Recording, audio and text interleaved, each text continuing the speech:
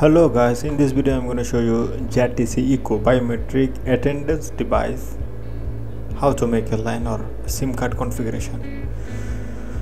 First of all this one is a portable device. That means we can carry everywhere. No need to a fixed places. This behind is the steel button inside is screw. They are having a sim port. Or downside you can see this the LAN port also there. We can connect LAN or sim as well as you like. Okay first of all we wanted to configure LAN this one is the LAN port inside the LAN port.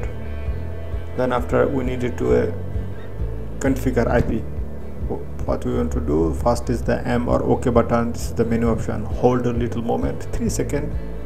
Then after go third number icon communication. When you go communication ethernet sim then go ethernet port. After ethernet port we can see this one DHCP option. If you make DHCP enable that means this device automatically taken from this the DHCP server to IP all details all IP is coming from a DHCP server. If you make it off that device having a, some default IP or default subnet path this one's all showing. You can check there. Okay? Now we want to configure SIM. This is the reason we make it disable. That inside the steel box a black steel box inside already we put there this is the APN setting STC APN setting. We have to manually put their details APN setting where we can put go to the menu option then go communication then go cell phone or SIM card details. Then the third option select data network call data network make it on APN setting go APN setup.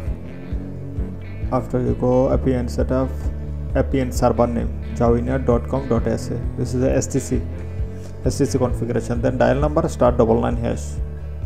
We have to manually mention this one. Then after go back as the heartbeat server also you have to make double zero double zero.